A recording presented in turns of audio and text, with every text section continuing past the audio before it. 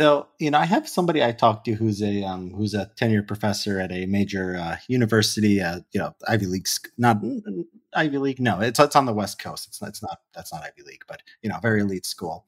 And you know, yeah, something. Like that okay yeah One a, a very very well well regarded school on the west coast and um, you know he you know he I, I was having sort of a debate with him because he wants to you know organize faculty try to sort of fight the university from within and you know my atti- my attitude is more I think you just have to sort of give up on it. Now, I wouldn't give up on the law schools. The law schools are very important because federal judges, I mean, and, and regulators come from the law schools.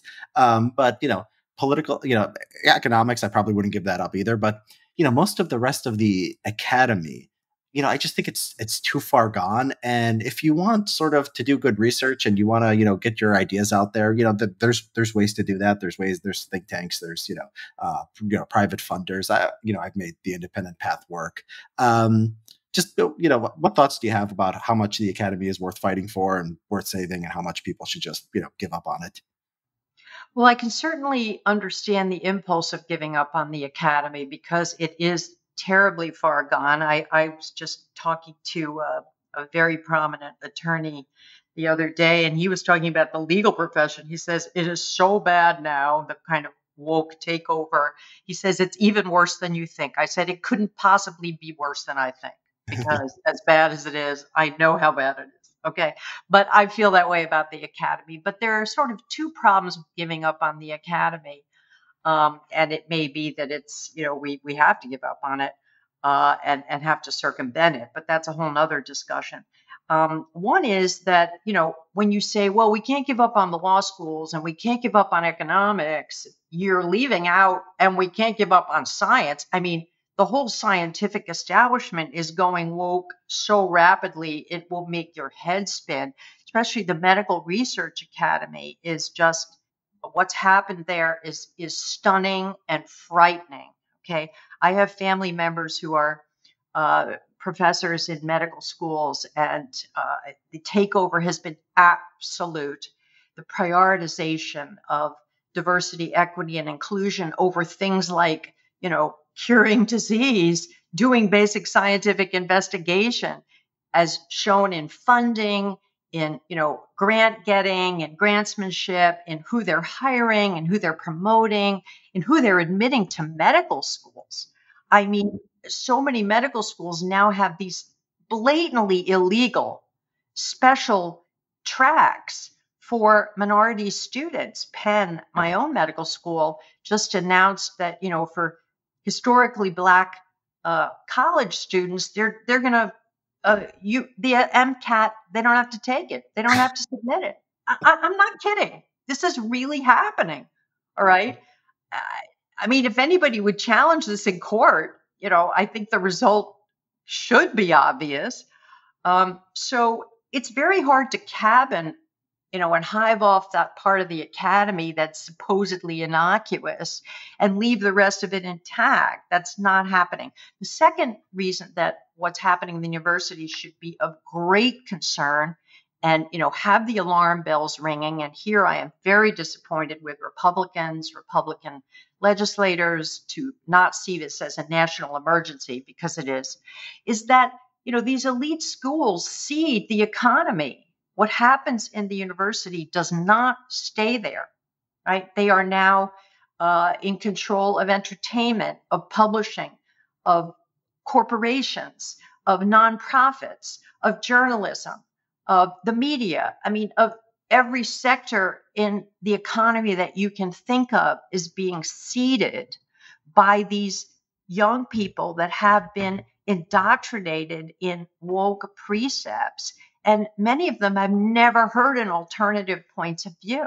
What about what about what about containment? I mean, you have fewer people go to college, starve them of resources. I saw an optimistic article it was on NBC. It was you know NBC News. It was portraying it as a very bad development, but fewer and fewer young people, particularly in red states, are going to college. Not just controlling for population, but look at number of 18 to 20 year olds who are enrolling in college. It's down from where it was um, five, ten years ago. Apparently, um, why not?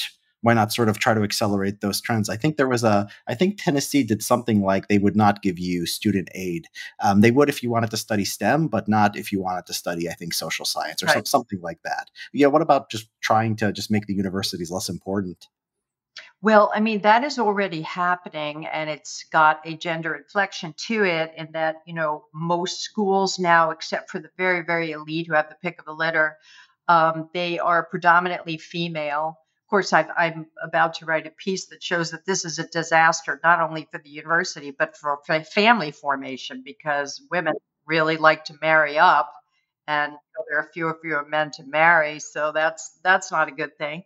Um, but yeah, I think the way to do that to circumvent these institutions is to you know starve them starve the beast i mean to defund them and but in order to do that you really need two things to happen one is the alumni need to stop giving money and there is no sign that they're doing that and that is just so frustrating because you know these universities pr establishments are just diabolical they uh, they are making out like everything's just fine. It's really wonderful.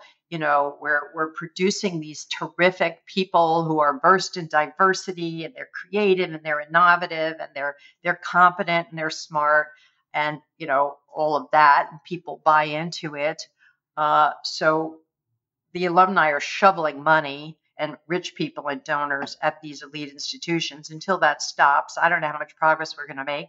Um, the second thing is this is why, with all their flaws, we need Republican administrations and Republican control of Congress.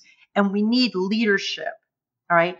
People like uh, Youngkin and DeSantis who are going to take charge of the Department of Education and say, um, we know that you're discriminating on the basis of race like crazy. No more money, all right? Uh, we're cutting it off tomorrow until you prove that you're not doing that. I mean, wouldn't that be a bold move? The second thing I'm in favor of is Congress passing a law like Title VI, which has no race discrimination if you accept federal money, that says you have to adhere to First Amendment principles if you're going to accept federal money. And I think if that were enforced and taken seriously, once again, by the Department of Education, um, then that would work wonders. You know, that would really help. It wouldn't would, uh, solve you, the problem, but it would mm, help. Yeah, I mean, I, I, worry about the implications for religious schools. So, if religious schools have this, uh, you know, doctor schools, you know, I mean, there are ways around all of this. Uh, I think there are ways to to sort of deal with this. Um, you could design laws that would help. I'm not saying they would solve the problem because the problem with universities is that the people in charge are self perpetuating. They are the gatekeepers for the next generation. So, as you pointed out earlier, you know, they are going to be very vigilant in not hiring people who have the wrong opinions. They want to keep conservatives out. Uh, but think about it that means that the views that, you know, most people hold are now banned from the academy. I mean, we have the academy as this enclave of the opinions held by 8% of the population. Well, you know because you generate some of this data, right? Um, so there's no magical solution, but I think starving the beast, um, cutting off the funding, uh, finding ways around needing a university degree. Now, I think the real hard nut to crack here is the elite universities who only graduate about four or five percent, you know, the so-called selective or competitive universities of the people who get a four-year degree. So schools that accept, let's say, less than a third of their applicants are a remarkably tiny percentage, uh, in just in terms of the number of people coming out of them, uh, of college graduates.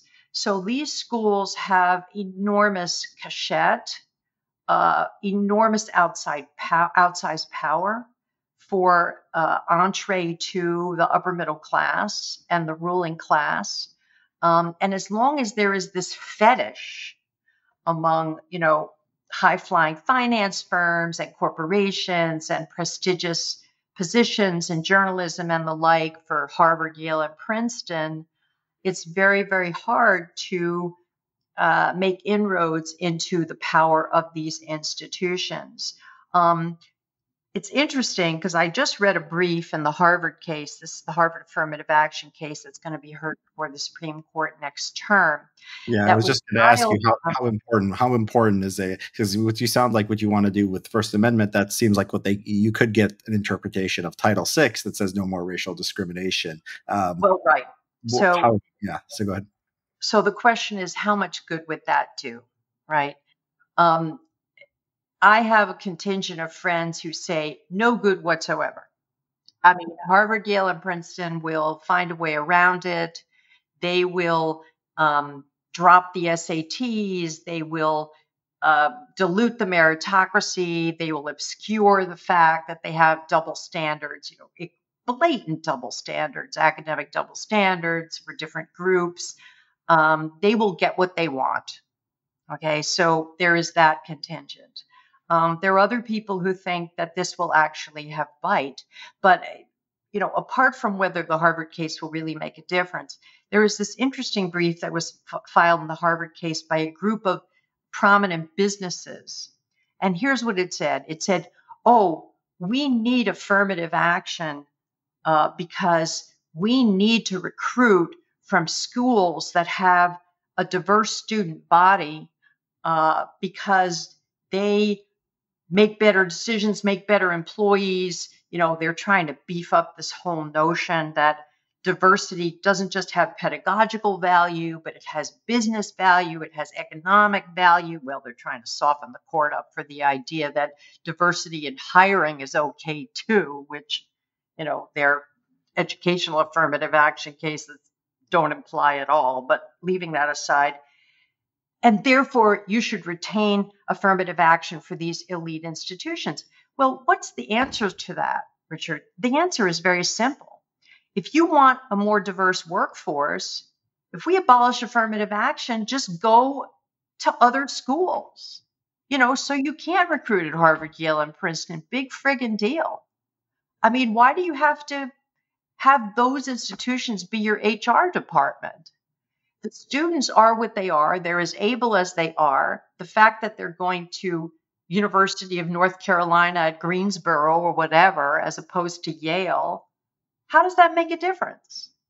You know go to howard go to other places go to the places where blacks would get in on a colorblind basis and recruit them there now of course they would say well we need the white students at harvard and yale and we need to expose them to diversity because that makes them better employees. Well, you can get white students at these other places too, you know. I mean, the snob value here is just unbelievable. And of course, the implicit myth is that if you take a given student of given ability and you send them to Harvard, that they'll somehow come out smarter and better and more capable than if they go to a school where they're well matched. Like, there's zero evidence for that. Zero. Yeah. And so, In fact, yeah. evidence of the opposite because there's there's data from Duke that suggests that if minority students are overplaced, that is, you know, they go to a school where they wouldn't get in otherwise, that they tend to drop out of hardcore majors more often. They learn less at these schools where they're overplaced through affirmative action that they would if they went to a school they would otherwise get into. So we have all of these kind of myths, these these preening assumptions uh, that make it very hard to undermine the power of these institutions. I mean, your ideas are as good as mine about how we're going to do that.